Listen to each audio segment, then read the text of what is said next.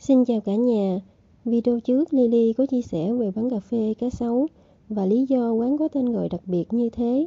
Vì phía sau quán có hẳn một chài cá sấu khá lớn.